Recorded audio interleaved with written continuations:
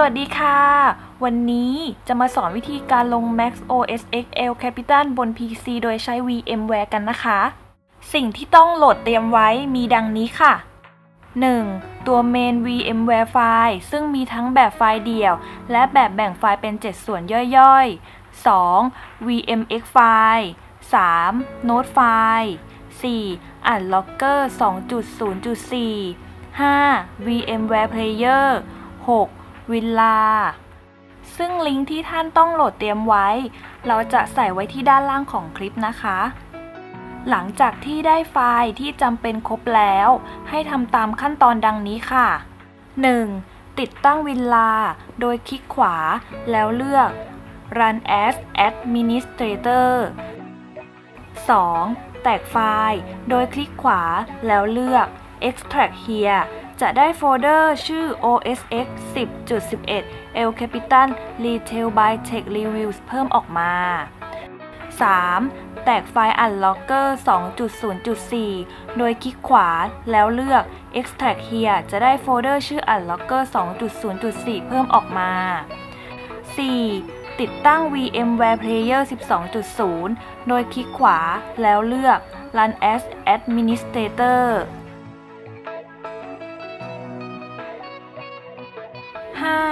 ติดตั้ง Unlocker 2.0.4 โดยเข้าไปในโฟลเดอร์ Unlocker 2.0.4 คลิกขวาที่ Win Install แล้วเลือก Run as Administrator 6. เปิด VMware Player ซึ่งในการเปิดใช้ครั้งแรกนะคะ ให้ใส่อีเมลลงไป และจะสามารถใช้งานได้แบบ non-commercial use ได้ค่ะ 7. คลิกที่ Create a new virtual machine เลือก I will install the operating system later คลิก next แล้วเลือก Apple Mac OS X ที่ด้านบน ถัดลงมาด้านล่างเลือกเวอร์ชันเป็น OS X 10.11 คลิก next จากนั้นตั้งชื่อเครื่องตามที่เราต้องการในช่องด้านบน เช่นในตัวอย่างตั้งเป็น OS X 10.11 ค่ะ ด้านล่างก็เลือกที่ที่เราต้องการเก็บ Virtual Machine อันนี้ในตัวอย่างจะสร้างโฟลเดอร์ใหม่ขึ้นมาไว้ที่ Drive C นะคะ แล้วคลิก Next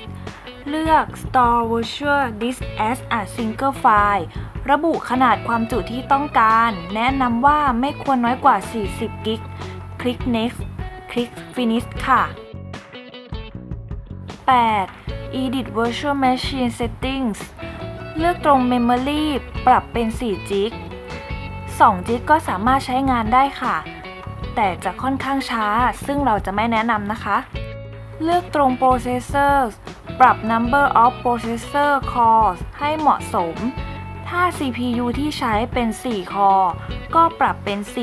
4 เลือก Hard Disk และกด Remove เลือกตรง CD หรือ DVD เอาเครื่องหมายถูกที่ Connect Add Power On ออกด้วยนะคะ 9. คลิก Add ด้านล่าง เลือก Hard Disk คลิก Next เลือก SATA คลิก Next เลือก Use as Existing Visual Disk คลิก Next จากนั้นเลือกไปที่ไฟล์ที่เราได้แตกไว้ จาก OSX 10.11 El Capitan Retail by Tech Reviews ในตัวอย่างนี้จะย้ายไฟล์ที่แตกไว้ไปเก็บในโฟลเดอร์ ที่ได้ทำการสร้างไว้ แล้วลบไฟล์ OSX 10.11 จุด vmdk ที่ไม่ได้ใช้ออก จากนั้นเปลี่ยนชื่อไฟล์แล้วเลือกไฟล์นี้ กด Open แล้วกด Finish ถ้าหากมีการถามว่าต้องการเปลี่ยนฟอร์แมตหรือไม่ ให้เลือก Keep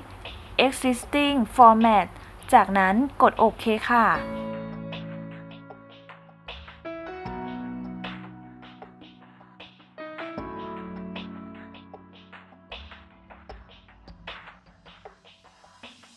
10. เปิดโปรแกรม Notepad จากนั้นเปิดโฟลเดอร์ที่เราได้เก็บไฟล์ Virtual Machine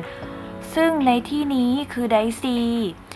ลากนามสกุล VMS ใส่ใน Notepad เพื่อจะทำการแก้ไข โดยเพิ่ม smc version เท่ากับ 0 ลงในบรรทัดท้ายสุด แล้วบันทึก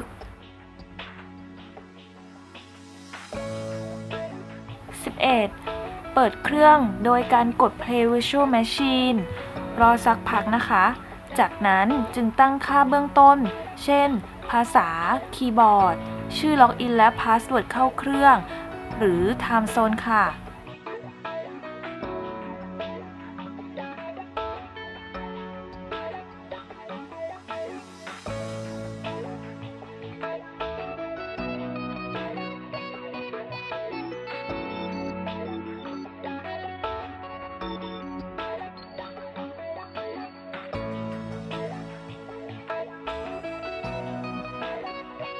12. ติดตั้ง VMware Tools โดยกด Install Tools ด้านล่าง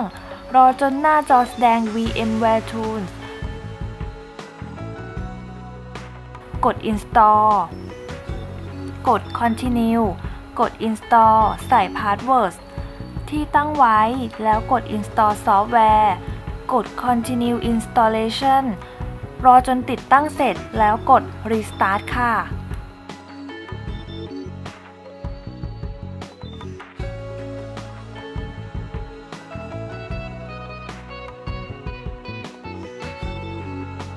13. เมื่อเครื่องบูตมาใส่ password แล้ว ให้ไปที่ App Store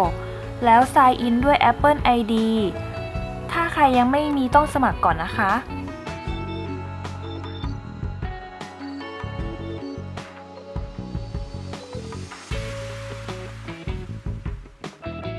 14. search หาโปรแกรม Xcode แล้วกด Install